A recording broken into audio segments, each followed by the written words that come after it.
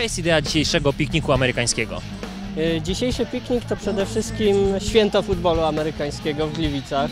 Pierwsze zresztą e, organizowane w takim wymiarze. Chcieliśmy w ten sposób uczcić e, raz, że ostatni mecz domowy naszej drużyny w tym, e, w tym sezonie, Mm, a po drugie chcieliśmy zainaugurować udział czy członkowstwo naszego klubu w programie Wounded Warrior Project e, Student Ambassadors i, i tym samym upamiętnić rocznicę ataków z 11 września 2001 roku w Stanach Zjednoczonych.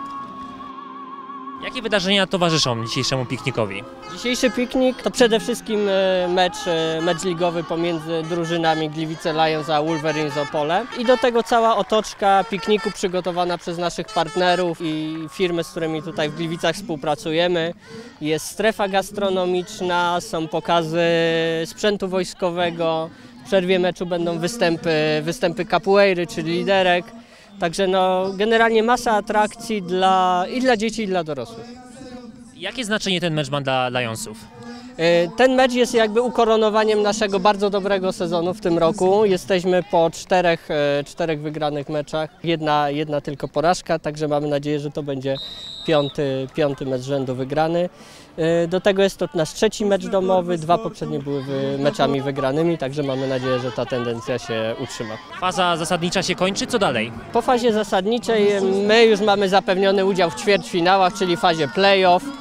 Także już weekend pomiędzy następnym e, weekend za dwa tygodnie e, będą mecze ćwierćfinałowe, no a później mamy nadzieję, że półfinał, finał i awans do pierwszej ligi.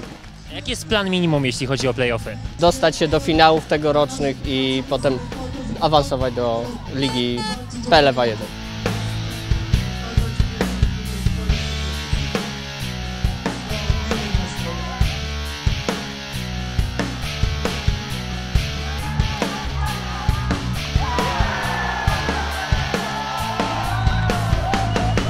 Jesteśmy bardzo zadowoleni z tego, że tak, tak licznie nas odwiedzają zarówno mieszkańcy Wilczego Gardła, jak i nie tylko, ponieważ mamy, mamy liczne głosy, że przyjeżdżają do nas ludzie tak naprawdę z całego województwa, nawet z Częstochowy.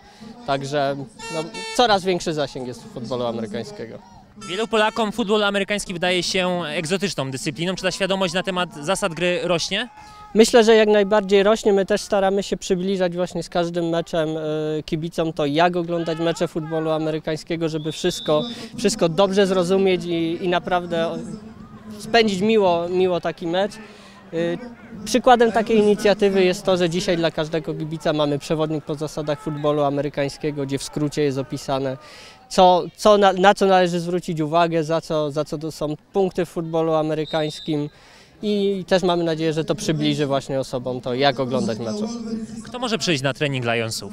Praktycznie każdy, kto ma, kto ma zapał do tego, kto będzie chciał poświęcić czas drużynie i który będzie chciał dołączyć do naprawdę wyjątkowego stada lwów i, i wspólnie z nami trenować. Nie mamy jakichś ograniczeń, nie, nie należy szukać wymówek, czy ktoś jest, nie wiem, za niski, za wysoki, za chudy, może za stary. Każdy się tak naprawdę nadaje, liczą się chęci, a potem już tylko trening.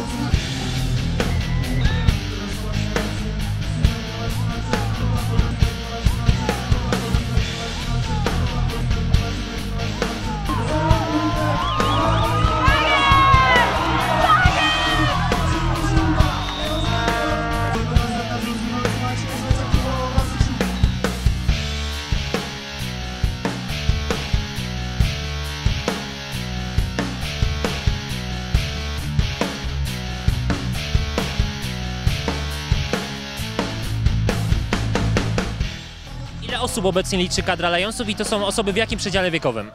W tej chwili głównie skupiamy swoje rozgrywki na sekcji, można powiedzieć, seniorskiej, czyli tej głównej, e, która gra w rozgrywkach ligowych. Jest to około 55 zawodników plus kadra szkoleniowa.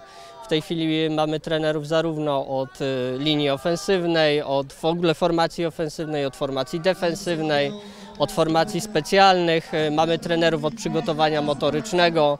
Tutaj, e, tutaj wspólnie działamy z CrossFit Gliwice właśnie w zakresie tego przygotowania i na tym się skupiamy. Natomiast prowadzimy także pilotażowo sekcję futbolu flagowego, czyli dla takich mniejszych dzieci. Jest to futbol bezkontaktowy i, i, i mamy nadzieję, że ta forma też się będzie rozwijać e, w poszczególnych tutaj szkołach w, w, Gliwicach i okolicy.